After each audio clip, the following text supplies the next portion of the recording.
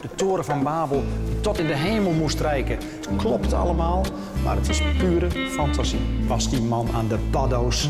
Was die aan de drank? Dat vind ik fijn. Dus je zet mij steeds op het verkeerde been. Karel Willink, de meester van het magische realisme. En zo ontstond een hele nieuwe magische wereld. Hoe werken jullie met het landschap eigenlijk?